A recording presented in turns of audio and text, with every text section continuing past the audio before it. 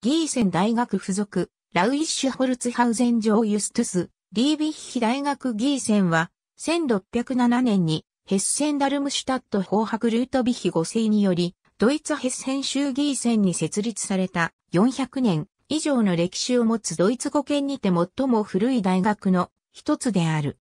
1929年ヘッセン州の統合に伴い、マールブルク大学と共に国立大学となり、現在2万5千人以上の学生数と4500人以上の大学教職員数を誇る。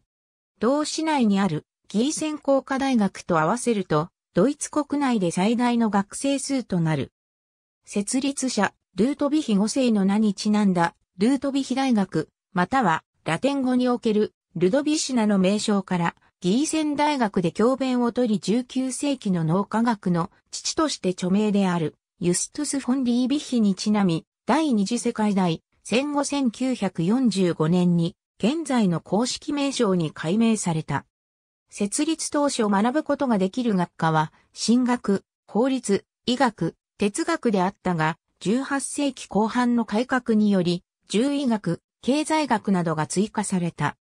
さらに20世紀に入ると現代的な大学への変革を遂げ、現在では上記の学科に加え、社会、文化学、歴史、文化学、言語、小説、文化学、心理学、スポーツ科学、数学、コンピュータ科学、物理学、地理学、生物学、科学、脳科学、栄養学、環境学などを専攻することができる。